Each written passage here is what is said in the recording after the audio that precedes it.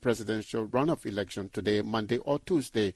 This comes as losing candidates in the first round have been endorsing either President George Weah or former Pre- Vice President Joseph Boakai. The two candidates in the runoff, Alexander Cummings, had been expected to do well in the October 10th first round vote, but he did very poorly. He tells me that his party is investigating what happened, but declined to say whether he would mount a formal complaint. We believe the results announced do not reflect the will of the people. We believe the election was fraudulent. We are trying to investigate and to understand uh, what happened and to try to prove that. It seems unfathomable that in 2017, when I was not known by anybody in the country, we got 7% of the electorate.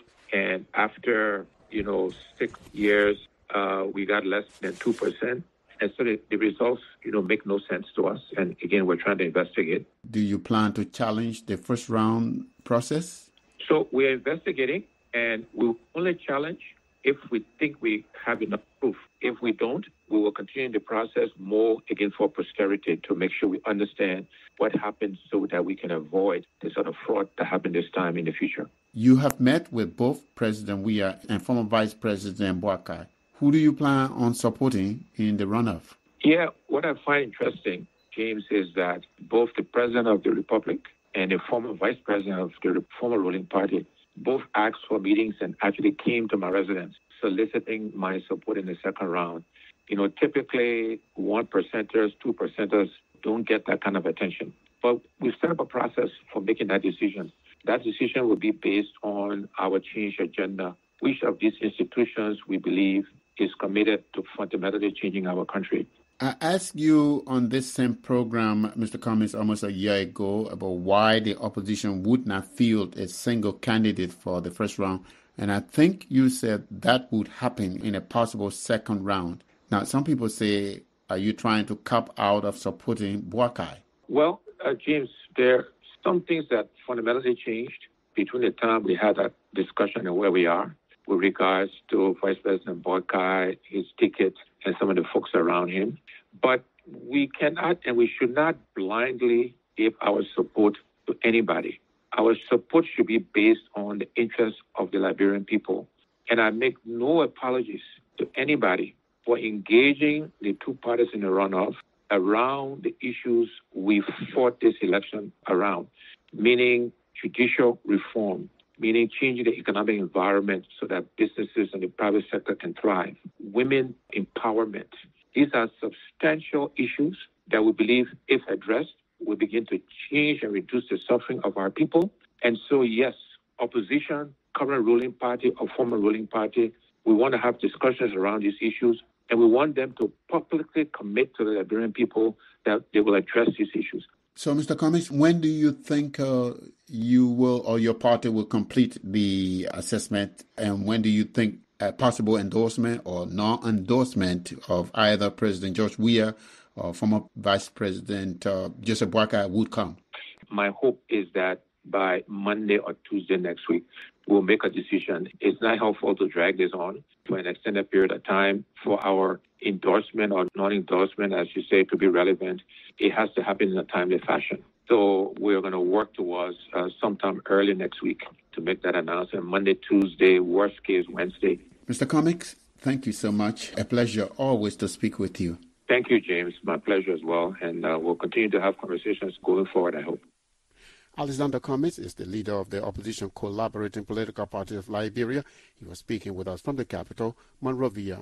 Human Rights Watch has called on Mozambique's government to release all those it says were arbitrarily arrested during last Friday's peaceful protests. Mozambique officials were not immediately available for comment. Zenaida Machado is the Human Rights Watch senior researcher for Africa. She tells me that Mozambican authorities should investigate the security forces' use of excessive force and have those responsible prosecuted. The march of the opposition itself was uh, quite peaceful, but um, maybe half an hour into the march, they were met uh, with uh, heavily armed officers with uh, armored vehicles who requested the group to change route without providing an explanation for why the routes needed to be changed.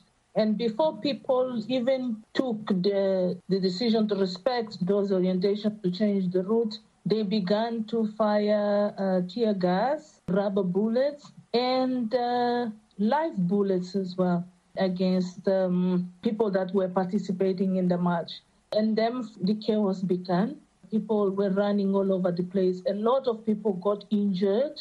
Security forces said over 70 people were detained. We are still in the process of verifying how many at this stage are still in jail, in what charges, and when are they going to appear in a court of justice to be formally charged. But uh, before that even happened, our own appeal is that the government should release those that were arbitrarily detained because we are aware, we have evidence that a lot of people were actually detained arbitrarily, uh, illegally, because participating in a peaceful protest is not a crime in Mozambique. And they were just exercising their civil right of uh, assembling, protesting.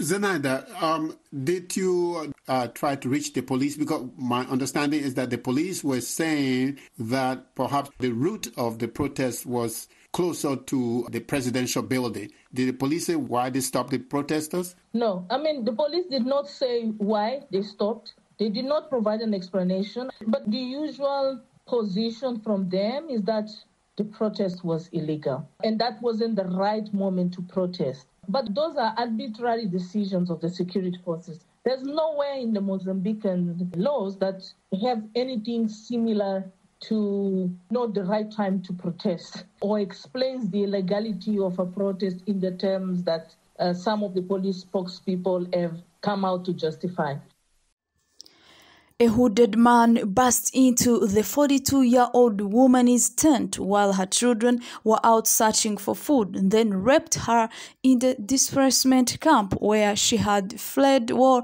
in eastern Congo. I want to scream. He took my mouth and he threatened me with death, she said mother of four who was abandoned by her husband after she became disabled in a motorcycle accident several years ago. Now she says she lives in fear and hesitates to let her children leave her side.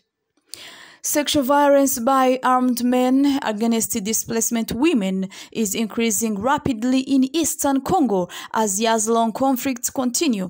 The trend underscores disproportionate consequences for women and girls in the region's perpetual state of war.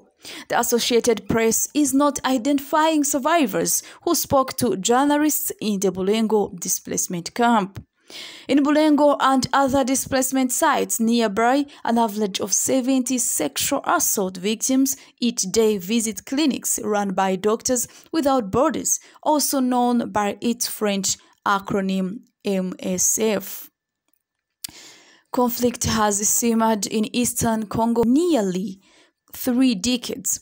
The United Nations estimates that more than 130 armed groups are active in the country's north east, vying for land or resources while some have formed to protect their communities. Sexual violence has long been used as a weapon of war by armed fighters in the region.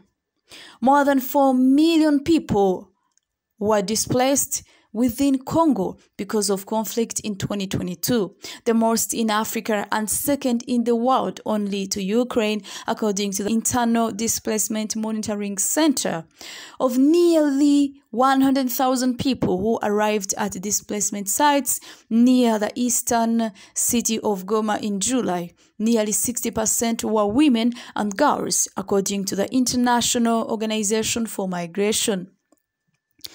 Doctors Without Borders treated 1,500 female victims of sexual violence in just three displacement camps outside Goma in July, more than double the number in May, the organization said in September 18th report. Survivors and aid workers say displacement rips people from their livelihoods and leaves women and girls vulnerable to assault.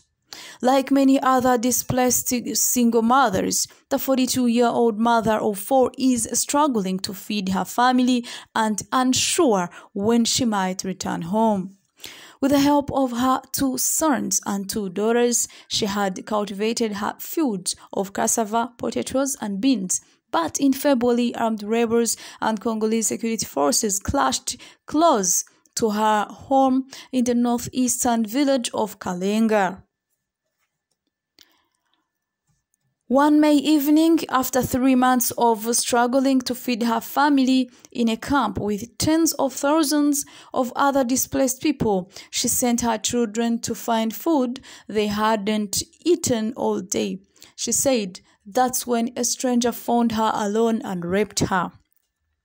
After the attack, she confided in a friend who directed her to a clinic run by MSF the charity group, along with United Nations agencies and local organizations, help provide medical services, psychological treatment, latrines, and other measures to improve conditions for survivors of sexual violence. But their role is limited the deliveries of food and other basic needs to the camp are infrequent, said Rebecca Hiu, MSF's regional sexual violence activity manager. The campus conditions leave women vulnerable to abuse. Shelters are little more than plastic, no way of securing them from intruders. Kihiu said men lack outside the camp where women and girls are forced to venture to find firewood and other necessities. They know that they will go and find these assaults outside the camp, but they have no option. Kihiu said, already scared by fleeing their homes. Survivors of sexual assault in camps like Bulengo live with the experience long afterward. It's a trauma that will stay for a lifetime, said Alabre, coordinator for UNFPA gender based violence programming in Northeast Congo.